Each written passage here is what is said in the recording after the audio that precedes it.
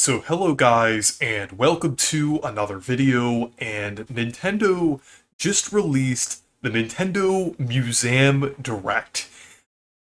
I thought this was really random at first before I remembered that they're opening the Nintendo Museum pretty soon and I think they mentioned it in another Direct, I believe. It was either another Direct or some kind of other thing they did, but it kind of makes sense that they would showcase the new museum in something like this. So I'm just pretty excited to see what's here. Hopefully there will be like um prototypes of like consoles and things or betas of certain games. I think that would be really cool. Um but yeah, maybe Miyamoto would be in it. I don't know. I'm um, kind of like how he was for the Super Nintendo World Direct, but I like these weird directs like this, but let me find the point where it starts. So, 皆さん、yeah. こんにちは。宮本です。 Oh yeah, it is hosted by 今回 Miyamoto. はオープンに向けて準備中の任天堂ミュージアムからお届けします。私は今、of ュージアムの入り口のレセプションエリアにいます。建物の外観はこんな感じになっています。It kind of も has that modern minimalistic ト design to や it, but 花 it, 札 it を kind of 使 looks nice. I do like it. ファミコンの頃は製品チェックをしたり、私もよく通っていた懐かしい場所です。たくさんのトラックが出入りした広場は、マリオの広場に生まれ変 Oh, わりま that's した。pretty cool. That's pretty cute. そしてこの度、長年任天堂製品に関わってきたこの場所をミュージアムとして再生しました。今日は任天堂ミュージアムがどのようなところなのかを駆け足でご紹介したいと思います。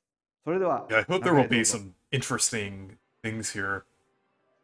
Oh wow, that's pretty cool. So they have like different things for each console. I wonder if they're hiding the one for the Switch too. they, they had to specify that it wasn't a part of this.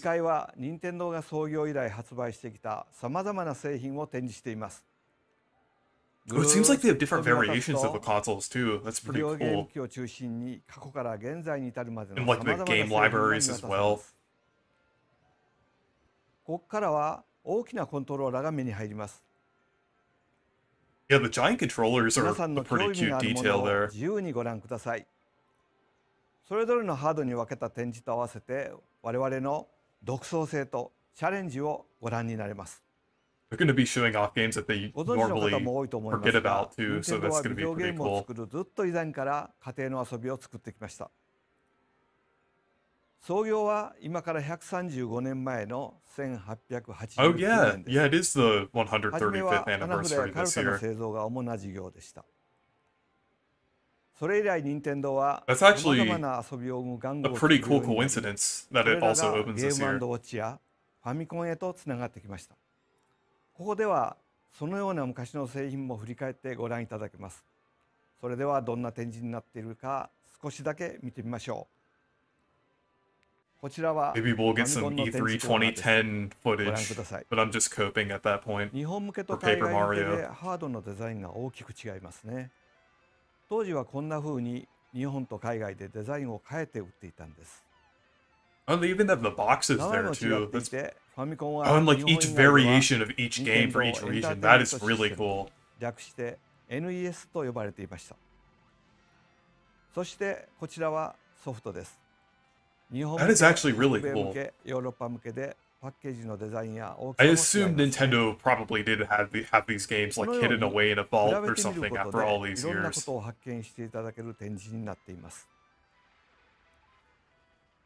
ミュージアムには任天堂が発売 copy, したすべ their てのタイトルを展示していますから、皆さんが遊.ばれたタイトルをつけてください。上のモニターではそれぞれのゲーム画面も見られるようになっています。前に立つとそれぞれの音が聞こえるスピーカーになっていますよ。Yeah, that's pretty cool. では別の展示コーナーもいくつか It 覗いてみ even ましょう showed Donkey Kong Jr. Math. こ That's のコー pretty ナーで funny. は体を動かすモーションを使った遊びの Oh, シーン wow, を even 見て the いただけます。 Power Pad. Wow. And Wii Fit. Well, I wouldn't be surprised if そ that し was てここ shown で there. は But... ハテナブロックのデザインがどのように進化してきたかを Oh wow, ご覧いた even だ like く the こともでき question ます block. They, they even include Wario Land on that one. That that's pretty cool. They even can. I wonder if the このコーナーで Mario は Wiki is それ gonna ぞれのハー adjust ドの with た that めに now. スーパーマリオやゼルダの伝説などの画面の進化を一気に The ご覧に Mario なれます Wiki has something to add now. さてこちらのコーナーでは多くの皆さんが知ら Okay, な I, い yeah, I was 任天 thinking 堂 they が would ビデオゲー probably ムを have 作る this too, 前 but の that 時代の that is 製品 really を cool 展 that 示 they're してい showing ます off more of their history これ here は too. I mean, コピラスと it い only って makes sense for リア them ド to 式 show の their コピ other ーです things.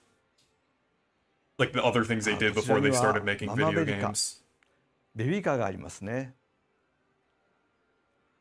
任天堂はトランプや know 花 they 札に始まりボード.ゲームやラジコンカーバッティングマシンなどいろいろなファミリー向けの玩具を作っていました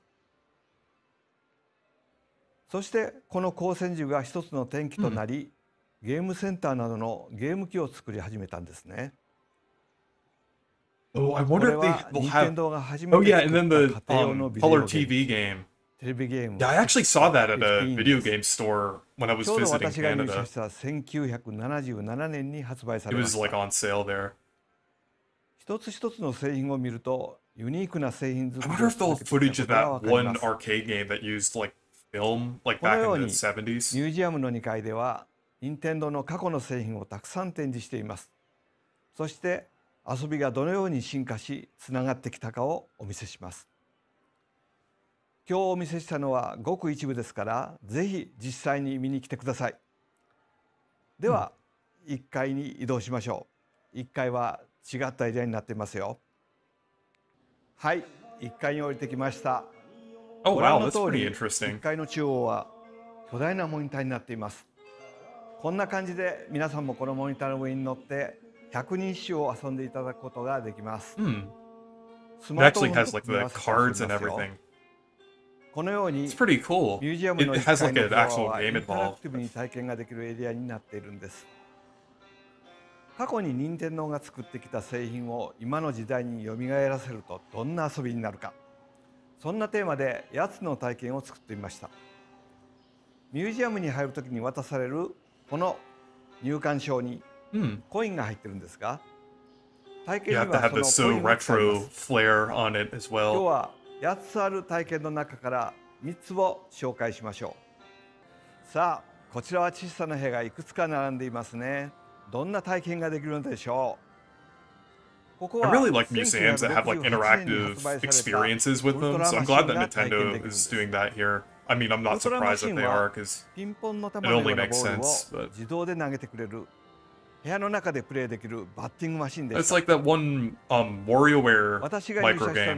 it's like 訂 that 版 one の boss micro game. デラックスが発売される年でした少しだけ仕上げに関われましたその頃は社内にプレイルームというのがあって昼休みにはアーケードゲームやウルトラマシンを遊んでいましたこちらに並んだ部屋は当時の家庭を再現しています部屋に置かれているものが違うのでお好みの部屋を選んでください It's really cool.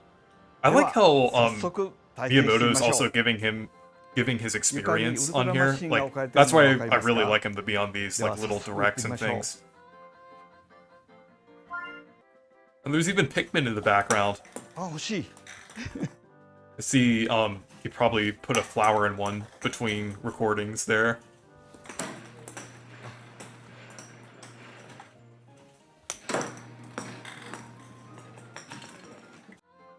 部屋の中にあるいろんなものにボールが actually ると really いろんなリア.クションがあります。左右に打ち分けてみてください。では次に行ってみましょうか。こちらはザッパースコープ SP という遊びです。任天堂は1970年代にレーザークレイというボーリング場を改造した業務用のシューティング場を展開していました。Yeah. このレーザークレイを今の技術で体験できるように作ってみたのが Yeah, now they have like a Mario themed um, light gun thing here.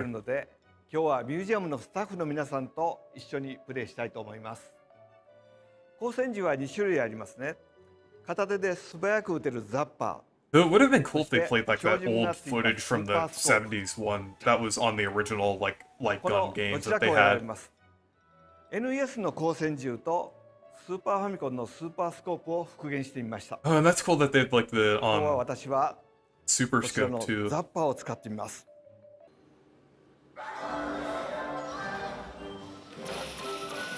Oh, that's pretty cool. I'm not surprised that they're using older renders for some of these characters here. That's マリ pretty オやピ cute. ーチは打ったらダメですよクッパ のこのこ狙って打ちましょ I notice you're, they're using some of ND Cube sound effects Ah, here. I wonder if right like there. ND Cube had any any like um involvement in this う software for this here.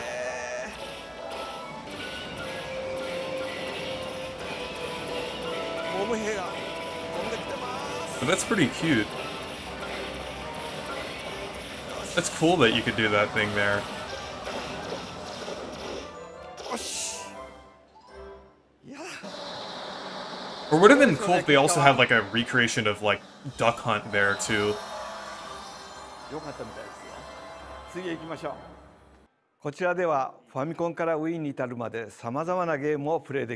I actually did something like this recently there was like a um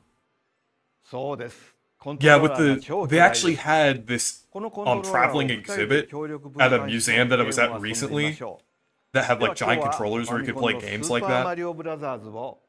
But that's really cool to see that Nintendo's doing that too. スタッフさんが A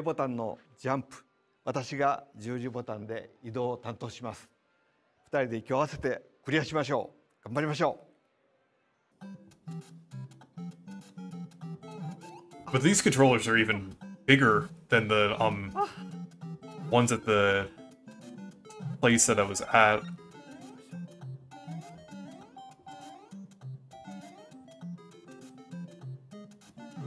That's really cool. It seems to be using like a similar similar emulator to the one that Nintendo Switch Online uses.